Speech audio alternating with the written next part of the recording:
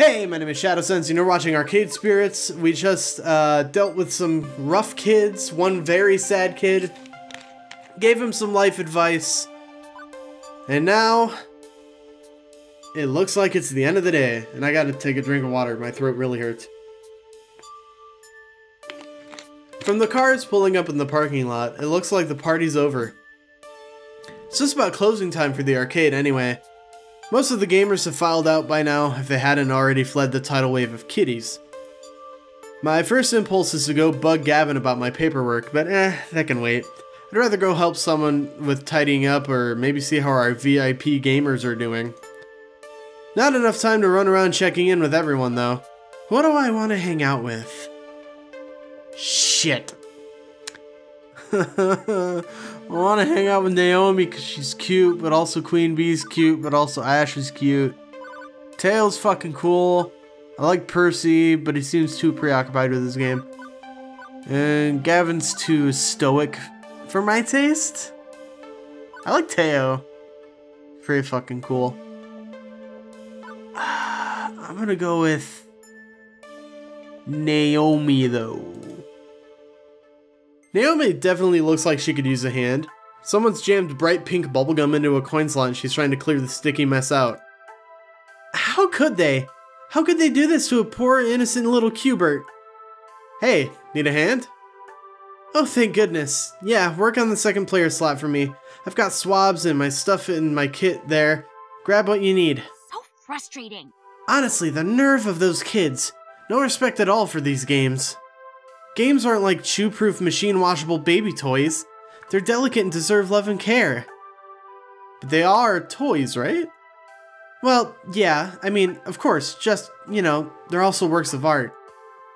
I know not everybody sees it that way. Back in the 80s, operators would just throw away games that didn't perform well anyway. In the end, an arcade has to make money. That means using and abusing a game until it's time to put it out to pasture. But I don't have to like it, right? Um...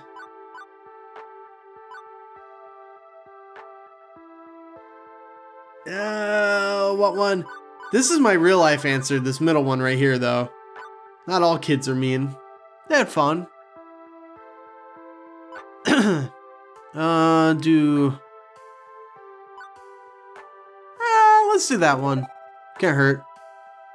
Nothing justifies deliberately trashing a game like this, but if it helps, the party was a success. Everybody had fun playing our wonderful games, or your wonderful games. So for every kid who hurt you, know a dozen more would thank you if they knew you were providing these great games and making sure they stayed playable. Yeah.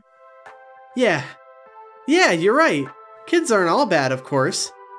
I'm not really good with kids, not like Ashley, but if they learn to love games when they're young, they'll love them all their life, right? But I do have to be realistic. I know this isn't a museum, we aren't preserving priceless treasures for generations to come. Sometimes I treat it like my little private collection, but really, I do want people to play and enjoy these games, and that does wear them down in time. As long as I'm here, I'll pick up a game when it wobbles on its feet, dust it off, straighten it up, and send it out there to be played with all over again. With the last of the gum pulled out of the slot, Naomi closes up her toolbox. I should probably pull the coin mechs entirely and give them good old cleaning tomorrow, but I didn't want to let the gum sit overnight. I'm heading home soon. I'll see you tomorrow, right? You got it, Naomi. Woohoo! Great. And she gives me a big hug before bounding off to her workshop. With things winding down, there's just one last thing to take care of before I'm out of the door. I seek out Gavin to handle the remains of the day. Matt, good work today. Thanks, boss. Mid-boss? Sub-boss? Gavin will do. Hmm. I can't say you've been a perfect employee, but my standards are impossibly high, so I'll just assume you're as close to perfect as is reasonable. The cost of cleaning our carpets won't be as bad, thanks to your quick thinking. Normally I'd have dealt with angry parents myself, but I was distracted. I've only second-hand accounts of your performance there, as Teo told me everything. Although Teo isn't staff, I suppose he stepped up to handle the, that rude customer with rational calm attitude. So, I'll consider that handled. I'm not pleased with that you sold our Moopy for only $1,000, not 3000 as I'd requested. Gavin, we only paid 200 bucks for that game. I'd be ripping off a customer. A customer with exceptionally deep pockets, and one who squats in that game all day, spending only a handful of change in the process. If anything, 3000 is what we need to make the up the last the last profit from Percy being so moopy obsessed. There we go. What's more, why it's still here is a good question. Was that not clear I wanted it gone? Percy didn't want to break up the family. They're machines, not people. He also didn't want Naomi to be sad. Yes, well, Naomi needs to learn to let go, I'd say. Him? Are you giving our poor little Matt a hard time, Gavin dear? Miss Francine, I thought you were napping. Let's be sensible. Naomi's dreams matters too. Or Naomi's dream matters too. As does the dream of Percy, that poor fellow. Poor? Isn't Percy stinking rich? Everyone has a dream they're chasing. Gavin, I know you mean well, wanting to keep everyone's dreams afloat. But sacrifices made in the name which shatter the dreams of others, well, that's not what the Funplex is all about. Matt, you understand, yes? The reason why? Why I'm here? That's the question she asked me during the inter that interview. Now, I think I understand. I came here today looking for hope. Hope I could do more with my life than compromise, settle for what I can get, and go with the flow. Everybody I've met today is full of hope. Gamers chasing scores, people following their passions. Nobody here is willing to give up on their dreams. Not even you, Gavin. You know, we're better than this, Gavin. We don't settle. We chase after our hopes and dreams and won't accept anything less. I see. Apologies. Matt, Miss Francine, I apologize. It's difficult to balance my idealism against my realism some days, but I know in my heart I need to err on the side of idealism, even if my mind screams in protest. I can assume you are still keen to work here, Matt? I don't even hesitate before replying. Absolutely. Gavin fetches a nearby short stack of forms. Fill these out tonight, hand them in hand them in to me first thing in the morning. And welcome to the Funplex. Welcome to the family, I'd say. I'm sure you'll fit in just fine, Matt. Job, secure, count it. One bus ride later and it's home again, home again, jiggity jig. Juniper, already home from work, bounds over eagerly to interrogate me on my day. So, how'd it go? It went well. Well or well? Really well. Your little app came through, despite being terrifyingly omniscient and just a little bit unnerving. You forgot to mention adorable. That's wonderful. I'm so glad to hear things worked out. You even came home with a smile, like when you were a lifeguard. Huh. Guess I am smiling. Interesting. By the way, there's just one teensy weensy little question I have for you. Shoot. Why exactly did you order a giant crate full of pizza bagels? When do you put pizza on a bagel? Um, yes, did I neglect to mention that part of the terms and conditions on the plus side, I know what I'm having for lunch tomorrow. Pizza bagels. Bitch it. Just gonna do this. And that's level 1 of Arcade Spirits complete. Hey, look, you also won a prize. You'll get one of these for each level you clear, plus some extras for various endings and other hidden thingies. Now let's see your score. Looks like you're really hitting it off with Naomi. You're proving to be a gentle, sweet, and compassionate soul. Also, you've scored 6,200 points. Nice! Keep talking to people and your score will go up, up, up. Today's pizza fact is, Americans eat approximately 100 acres of pizza each day, or 350 slices per second. Wow! Do you want to save your game before proceeding to level 2? Yes! Alright, it's level 2 time, baby!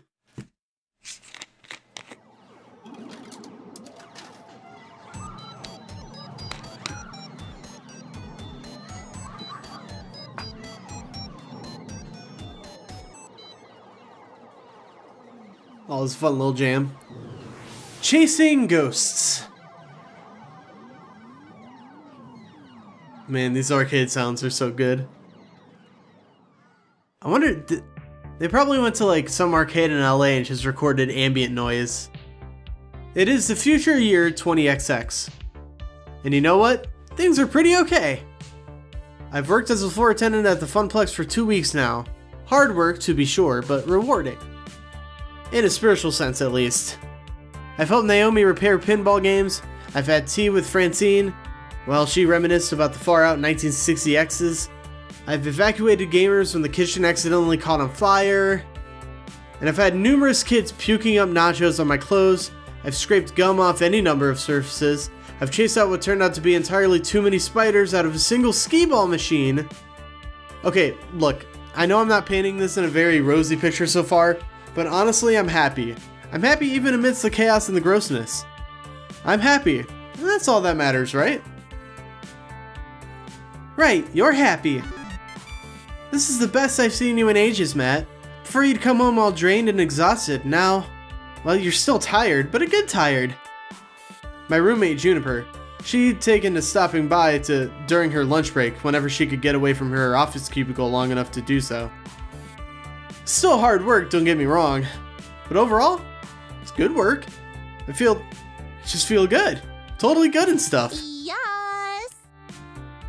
I don't like that quip. Good. Agreed, super good, double plus good. Iris, we talked about you listening in on my conversations. What did I tell you about that? To pretend I wasn't eavesdropping even when I am? Exactly. You know, I'd be more upset about my creepy privacy invading digital overmistress, but I have to admit that Iris has really pulled through for me. Even if she also ordered a three month supply of pizza bagels on my behalf. When you have pizza on a bagel, But Matt, when pizza's on a bagel. So, Juniper, how long do you have left on your break? Any time to squeeze in some pinball or something? I can spot you tokens. No can do. Our new assistant synergy manager arranged, ar- arranged a team building exercise It's a hard sentence to say. I have to, like, move colored bits of paper around or something and then exchange high fives. Assistant synergy manager? That sounds like a very vague job. Nah, it's actually entry level. Good pay and right on track to middle management. Pretty cushy if a bit dull. Funny thing is, if they asked me if I knew anybody who'd fit in before they started advertising for candidates, and I said nope, who'd want to do that? When was this exactly? Oh, two weeks ago. So, two weeks ago, right when I needed to find work, you told them you didn't know any candidates for a, for a well-paying entry-level job. Oh. Um. Oh, oh, never mind. Voice line. Well, wouldn't have liked being an assistant synergy manager, right? Not one bit. Probably wouldn't have, honestly. Juniper, please tell me you told them no because I'd already taken this job by that point, not because you forgot. Hey, I didn't forget. I just, you know, didn't bother telling you about the open position that night. I mean, you'd already had so many jobs you hated. I knew you'd hate being an assistant synergy manager, so I didn't feel the need to tell you. Makes sense. And it all worked out, right? You just spent the last five minutes telling me how happy you are here. Not a lie, I was happy here indeed. Also not a lie, having packed pizza bagels for lunch, after having pizza bagels for breakfast, because we barely had enough money to cover rent this week, pooled together. Also not a lie, Gavin constantly hiding the numbers from us, insisting things are were fine, all while dryly joking about perpetually being on edge of crash and burn. Also not a lie that every time someone in my family tried to chase after happiness instead of stability, we fell deeper and deeper into debt and misery. Matt, say something, you're scaring me. When I lost my lifeguard job, I barely reacted. Didn't care that I was impoverished again and facing uncertain future. I guess one of the nasty side effects of no longer going with the flow is no longer being numb to the reality of your situation. But I shouldn't feel upset. I've been genuinely enjoying my new job. It's restored my sense of hope and that my days can be something to live through, not just endure. I have no right to be angry or upset at losing an opportunity at a safer, more stable future. right? Uh. Honest truth. So I won't be angry or upset. Simple as that. I decided I was done compromising, right? Done with settling, going with the flow? I'm going to be the one to break the family curse. I chose this path of my own free will. Even if I didn't have all the facts at the time. But if I'm going to be honest, boundless confidence doesn't cover the simple fact that I chose to be vulnerable rather than safe. If the arcade closes, if anything else goes wrong, still, no need to dump all that on Juniper. It's okay, Juniper. You were right. I'd have hated that job. And things are great here. Oh, good. You were kind of freaking me out. Trust me, it's the right decision. You'd learn to loathe working at my office, like I do. I mean, sure, the pay is good, and you get solid health insurance and paid vacation time, and they have a sweet coffee shop right in the lobby. Yep, I get it. And these really great chairs that support your lower back, like thousand dollar chairs from Sweden crafted by master chairsmiths. Oh, laid it on a bit there, thick there. Juniper, I said it's fine. Everything is fine. Honestly, I'm okay. I mean, I won't deny that job would have been a safer bet. I want to contribute my fair share to the apartment rent, you know? But what's done is done. I'd rather look forward than back. Right. Right. Uh, forget I said anything. Please forget I said anything. I'm sorry. I should have told you. I shouldn't have held that back. But I still wouldn't have pushed you to take the job. It's totally horrible at my office. You'd have been miserable there, like me. Juniper, it's cool. You're right. I'd have hated it. Okay, okay, good. I've got a good feeling about all this. I think you're right where you need to be, even if I was, uh, kind of dumb about getting you here. Hey, I gotta get back to the office. Have a good lunch, okay? I can feel the distant rumble of a frozen box of pizza bagels taunting me down from the recently repair repaired employee break room. Yeah, okay. And you have a good rest of the hours of your day, yeah? You bet! I'm okay with this. Everything is fine. Right? Right. What I need right now is a distraction, and frozen pizza bagels are most certainly not it. My pocket money is really slim, but I think I need to step out for some fresh air and treat myself to a better lunch than that. And hey, maybe some company too. Nice and distracting, talking with someone about anything other than this. Let's see, who's available? Ah, uh, Naomi's not available right now. Shit. Um. Uh, let's get some points with Ashley. It's not often that both floor attendants can go on break at the same time. If I should take advantage of that, and, or er, I should take advantage of that and see if Ashley wants to grab some chow. On the plus side, I will not be lunching with Pinky the Funplex Flamingo. She's in her civvies anyway. Oh, hi! Hey, hey, Matt! What's up? Kitchen on fire again? She's super cute. God damn it. Not yet. And to avoid that happening again, I suggest having lunch somewhere else. You know, I was just about to suggest that. Both not burning down the kitchen and going out for a bite sounds great. Maybe taking a breather and stepping outside these walls will help take my mind off of everything that happened this morning. And Ashley always has a story to get lost in. Maybe I could get some pointers. Oh hey, I know where we could go. You haven't been to the whole story, have you? Nope, not yet. I've been existing off all these pizza bagels. I do love me some pizza bagels, especially the sausage ones. Hmm. I wonder how they make those tiny little sausages fit in those bite-sized morsels. Like, is it on a conveyor belt with lots of sharp blades? Chopping down at insane speeds? You wouldn't want to be caught under that, no way. Focus, Ashley. Whole story? Oh, yeah. It's an adorable little bookstore that also sells coffee and donuts. Get it? Whole? Story? Not a fan of puns, I take it. Nevertheless, I got a hankering for some mini donuts. Let's go. Despite coming to this little strip mall for two weeks, I hadn't actually visited our neighbors.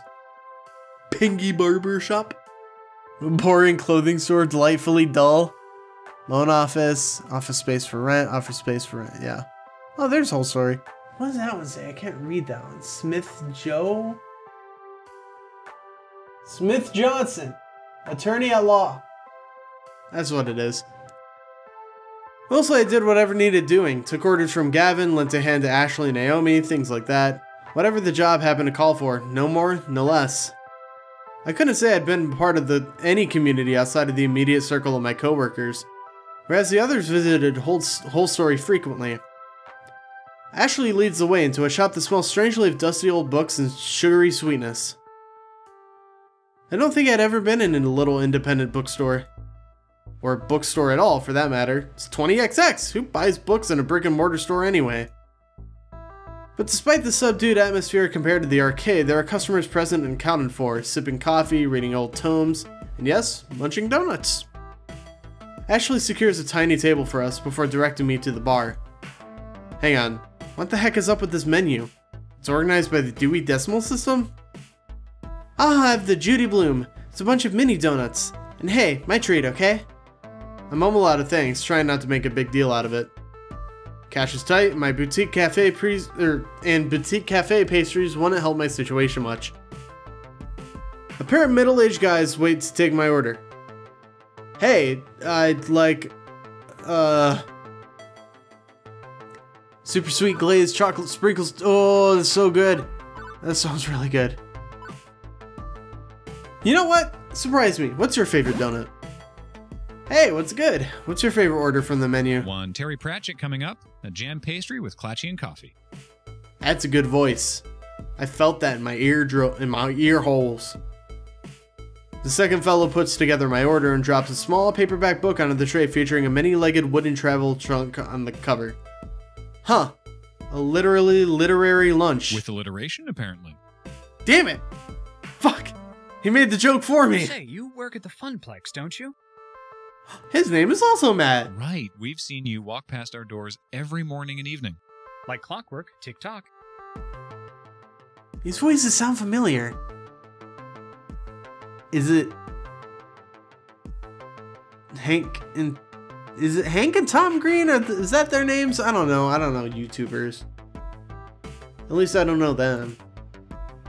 Right. Sorry, I should have introduced myself. Floor attendant Matt Bird at your service. I'm your inside guy for tokens and tickets. Oh, we are lousy at video games. Totally lousy. But Francine's just a peach, isn't she? Sweetest dame you'll ever meet. Regardless, welcome to the whole story.